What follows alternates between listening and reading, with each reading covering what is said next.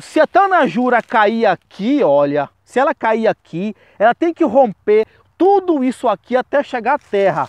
Olha o que nós temos aqui, ó. Ó. Olha só, pessoal. Ó, já encontramos até inseto aqui, ó, baratas. Ó, olha só. Só aqui que nós temos terra. Então, esse horizonte aqui A é muito mais rico em organismos vivos.